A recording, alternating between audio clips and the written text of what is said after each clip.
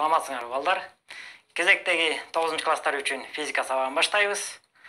Анда эмесе адаттагыдай дептериңерди алып чыгып ар бир айткан сөздөрүбүздү жазып экранга көңүлүбүздү бурабыз. Бүгүн да силер менен биз кызыктуу теманы өтөбүз. Бүгүнкү темабыз электромагнит жана алардын колдонулуштары бүгүнкү сабакта демек силер электромагнит кантип жазаларын көрөсүңөр электромагниттин түзүлүшүн билесиңер. Ошондой эле электромагнит каякта колдонуларын көрүп чыгабыз. Анда эмесе бүгүнкү сабактын баштаардан мурун өткөн темаларды кайталап алалы э?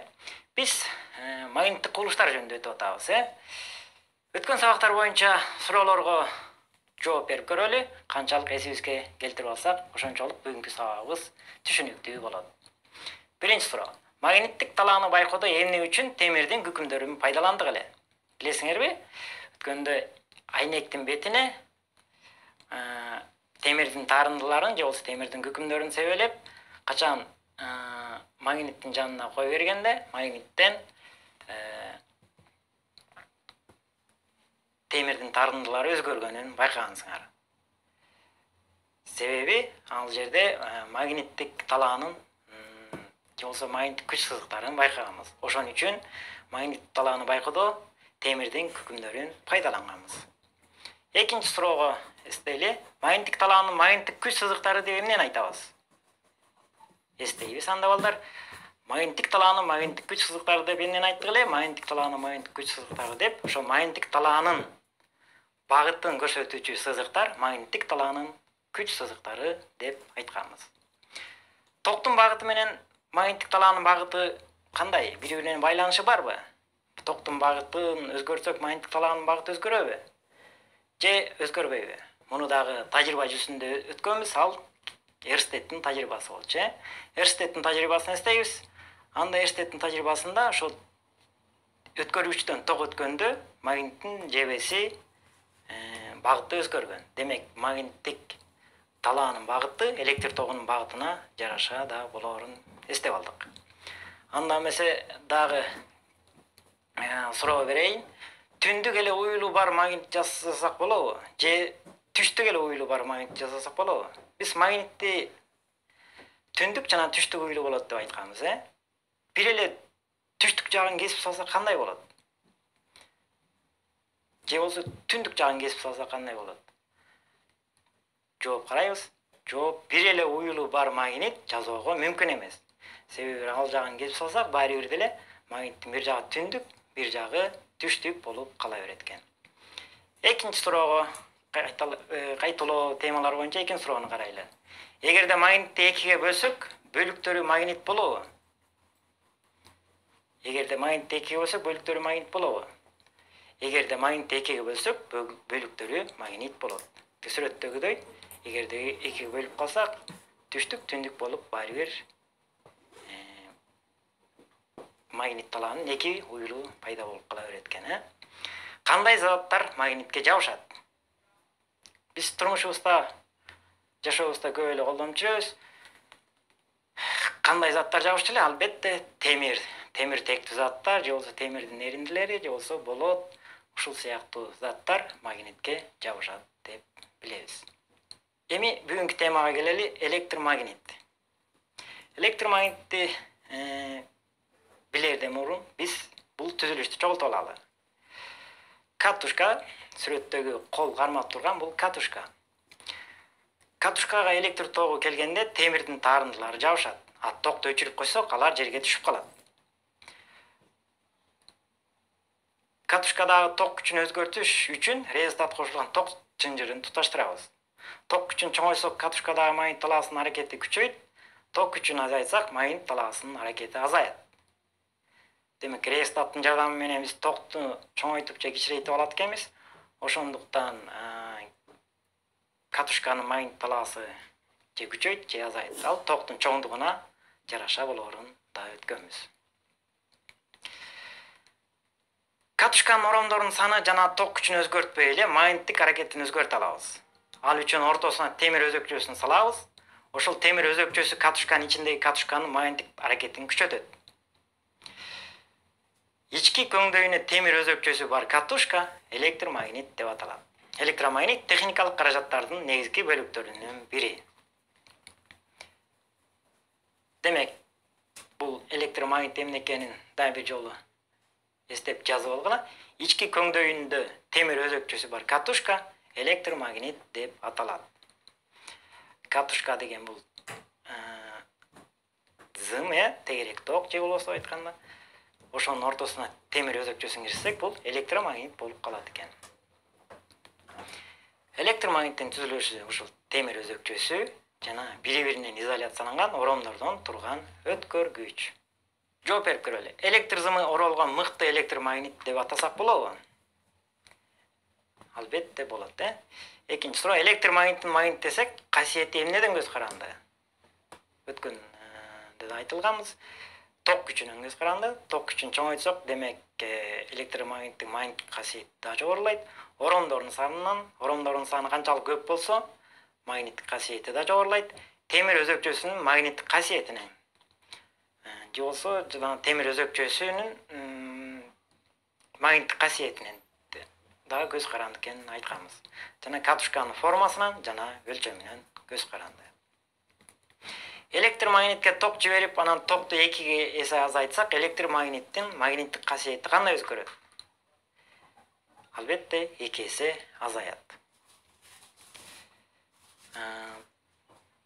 силерге суроо ушул суроо менен азыркы айтылгандарды канчалык эстеп калдык билели электромагниттеги темир катушканын магнит талаасына кандай аракет кылат төрт жооп турат кайсынысы туура таасирин күчөтөт таасирин азайтат таасир бербейт уюлду алмаштырат жообун көрөбүз жообу албетте таасирин күчөтөт себеби эмне электромагниттик темир бул магнит талаасынын касиетин күчөтөт э кийинки суроого көңүл буралы. Электромагнит ток булагынан ажыратканда анын магниттик таасири кандай өзгөрөт? Электромагнитти ток булагынан ажыратканда анын магниттик таасири кандай өзгөрөт? Албетте таасири жоголот. Электромагниттин тарыхын карай кетели. Электромагнит биринчилерден болуп вильям стержен деген англиялык инженер электрик биринчи электромагнит жасаган. Бир миң сегиз жүз жыйырма бешинчи жылы ал стержен демонстрациялап салмагы эки ньютон электромагнити менен салмагы үч ньютон темир жүктү кармап турган стержендин окуучусу джол ошол эле электромагнит менен тажрыйба жасап аны көтөрүү үчүн эки жүз ньютонго жеткирген. Бирок стержен биринчиликти колдон чыгарбай үчүн бир миң сегиз жүз отузунчу жылы беш миң беш жүз ньютон жүктү көтөрүүчү электромагнитти жасаган. Бир миң сегиз жүз кыркынчы жылы джол өзүнүн электромагнитин ойлоп тапкан. Анын эмгеги чоң салмактагы жүктү көтөрүүчү электромагниттер ири заводдордо болот же чоюнду көтөрүү үчүн колдонулат. Ал эми бүгүнкү күндө электромагнит беш жүз миң ньютонду түзөт. Генри деген америкалык физик электромагнитизм жөнүндө эмгек жазган электромагнитти өркүндөткөн генринин он миң ньютон жүк көтөргүчү салмагы үч миң ньютон болгон электромагнитти түзгөн бул сүрөттө жөнөкөй электромагнитти көрүп жатасыңар. Бул тик бурчтуу электромагнит мындай электромагнит темир устундаларды жалпак темирлерди жана башка узун жүктөрдү көтөрүү үчүн колдонулат биз электромагнитти өзүбүз үй шартында дагы жасап алсак болот ал үчүн мисалы төмөндөгү видеону экрандагы видеону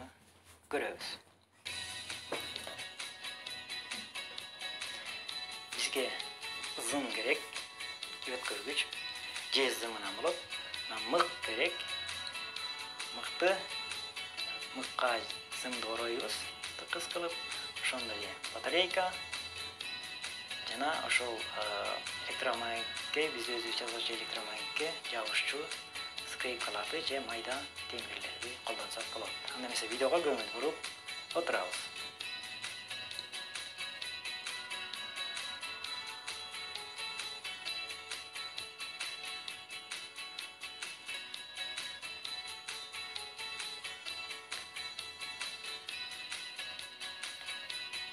электромагнитти жасап алганды көрдүк өзүңөр дагы аракет кылып көргүлө жасаганга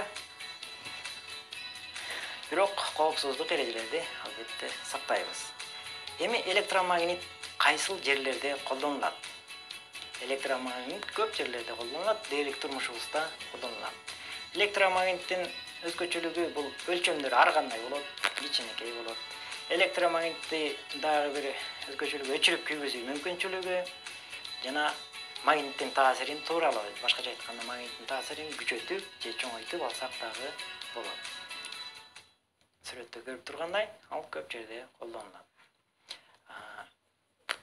биз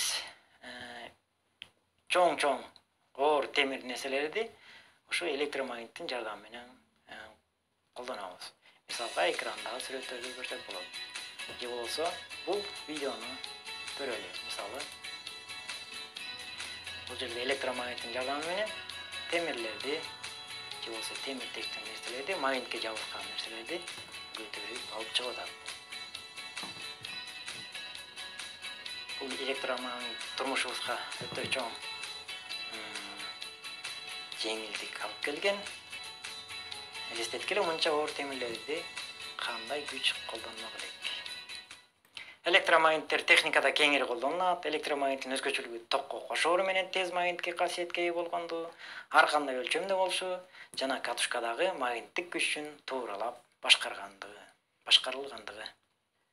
Электромагнит дагы телеграфта телефон аппараттарында электр коңгуроосунда электр кыймылдаткычтарында трансформаторлордо электромагниттик релелерде жана башка көптөгөн түзүлүштөрдө кеңири колдонулат силер электр коңгуроосунун кандай иштээрин билесиңерби угуп эле жүрөсүңөр э бирок ушунун иштешин кантип жазаларын азыр кийинки видеодон көрөлү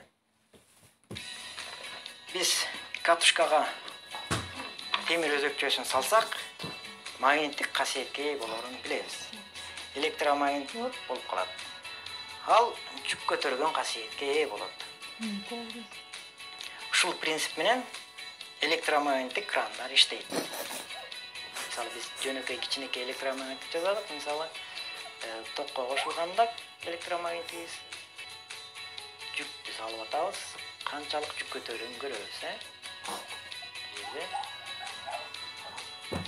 элүү граммдыктардан төрт салдык эле көтөрүлдү күчү ушуга жетерин билдик ушуну ушундай эле принцип менен чоң чоң электромагниттер колдонулат ушунча оор темир нерселерди электромагниттин жардамы менен ары бери которсок болот биз муну билип алдык азыр катушкадан электромагниттик реле жасаганын көрөлү э электромагнит аркылуу ток жүргөндө темир сызгыч жабышып калат көрөбүз электр тогун кошкондо темир сызгыч жабышып калганын көрдүк токто өчүрсөк темир сызгыч кайра бошоп калат экинчи чынжырга батарейка менен лампаны туташтырабыз качан темир сызгыч контакт болгондо свет күйөт өчөт кайра күйөт кайра өчөт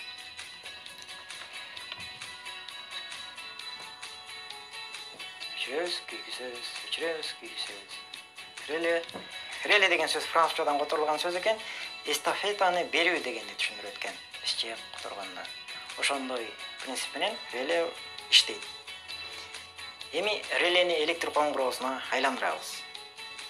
Термелүү жыштыгын азайтыш үчүн темир сызгычтын үстүнө жүк коебуз мына ушинтип электр коңгуроосун жасап алабыз. Акырындык менен термелип электр коңгуроосу иштейт баардык эле электр коңгуроолор ушундай принцип менен иштейт демек электромагнит заводдордо электромагниттер чоң көлөмдөгү темир болот жана алардын чоңдугунан ары бери көтөрүүдө колдонулаарын билдик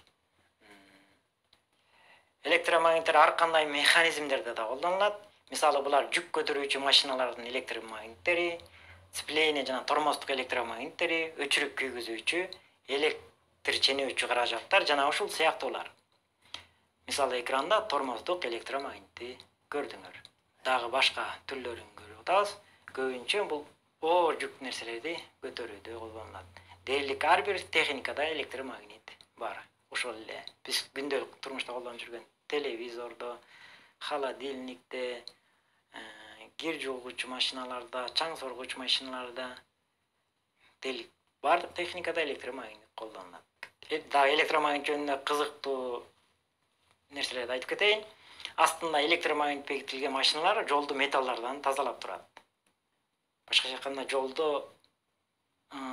темир тезектер жатып калса ошо электромагнит бекитилген машинанын астында бекитилген машиналар менен тазалап кетип турат дүйнөдөгү эң чоң электромагнит швейцариядагы эң чоң электрондук позитрондук коллайдердин элүү үч детекторунун бөлүгү болуп эсептелет.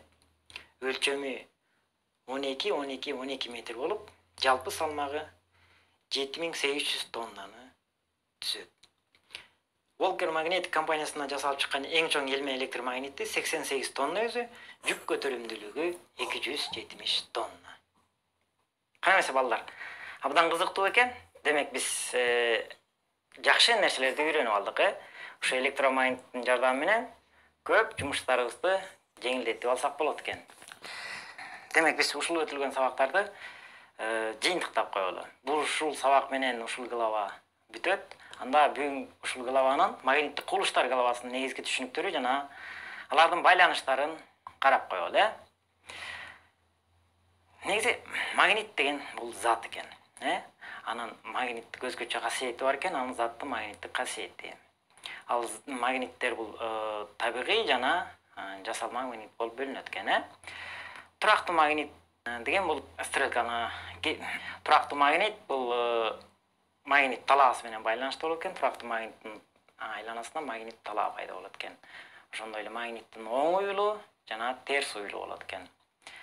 Магниттин оң уюлу терс уюлу бул атайын белгилер менен белгиленет экен аны карап чыктык. Ошондой эле магниттин өз ара аракеттешүүсү бири бири менен аракет эткен. Терс уюл менен терс уюл же башкача айтканда бир аттуу уюлдар бири бири менен түртүлүшөт экен ал эми ар түрдүү аттуу уюлдар бири бири менен тартылышат экен ошондой эле магниттер темиртектүү заттар менен бири бирин тартат экен бул магниттин да касиеттери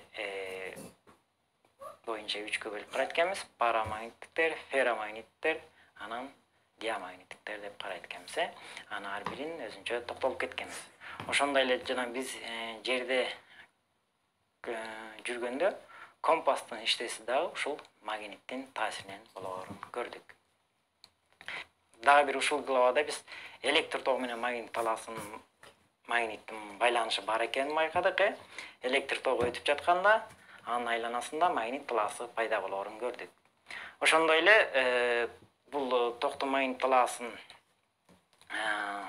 эрстед тажрыйбасын жана ампер тажрыйбасын көрдүк эрстед тажрыйбасы бул электр тогунда ток өтүп жатканда анын айланасында магнит талаасы пайда болоорун байкадык ошондой эле ампер тажрыйбасында болсо өткөрүчтөр эки өткөрүч бири бири менен өз ара аракеттешерин билдик ошондой эле токтуу магнит талаасы бул түз магнит талаасы анан тегерек токтуу магнит талаасы деп токту эки түрүн түшүндүк э түз ток анан тегерек ток деген дагы ушул магнит талаасы менен же болбосо электр талаасын байланыштырып электромагнит деген эмне экенин билдик. Анда эмесе балдар биз тогузунчу класстар үчүн жаңы башталган магниттик кубулуштар же болбосо электромагнит бөлүмүнүн биринчи главасын аяктадык эмики глава мындан да кызыктуу болот. Демек эмки главада ушу электромагниттик кубулуштары жөнүндө өтмөкчүбүз. Көңүл бурганыңарга рахмат. Дагы бир сере кайталап китебиңерди пайдаланып конспектиңерди кайталагыла эмкиде мындан да кызыктуу сабакты өтөбүз. Саламатта калгыла.